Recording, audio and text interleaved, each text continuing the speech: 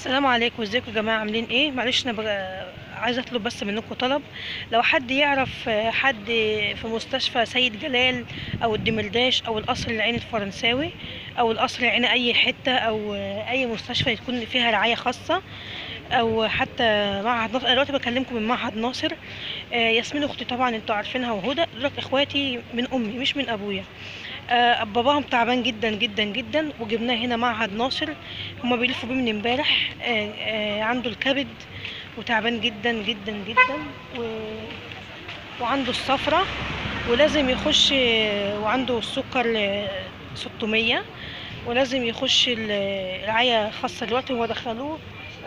رعاية هنا مؤقتة لمدة ساعتين ودلوقتي بقالنا فوق من من الساعة 3 العصر وهم بيدوروا على رعاية في أي مستشفى مش لاقيين. طبعا المستشفيات الخاصة الرعاية فيها ب 3000 جنيه اليوم فهيجيبوا منين 3000 جنيه اليوم؟ إحنا مش محتاجين فلوس من حد.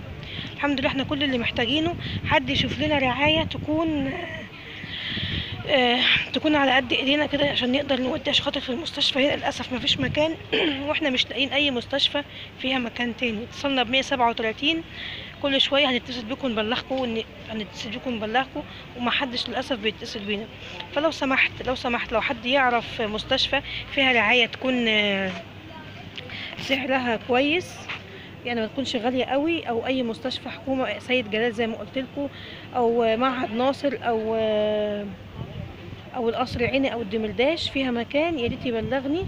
رقم تليفوني 010 60 62 66 26 آه وبعد إذنكم محدش يتصل بيا يقول لي على دعم أو على حاجة في الوقت الحالي خالص لأني أنا دلوقتي بكلمكم وأنا في المستشفى وقاعدة في الشارع أنا وبنتي. يعني أنا بكلمكم أهي أمي قاعدة أهي وشايلة بنتي وياسمين جنبها.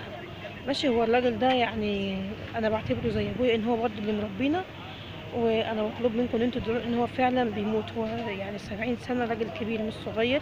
فادعوا له يا جماعة ربنا يخفف عنه ويقوم بالسلامة إن شاء الله. وأرجوكم لو حد يعرف مكان رعاية أو يقدر يدبر لنا رعاية في أي مستشفى يبلغني. أرجوكم أرجوكم أرجوكم.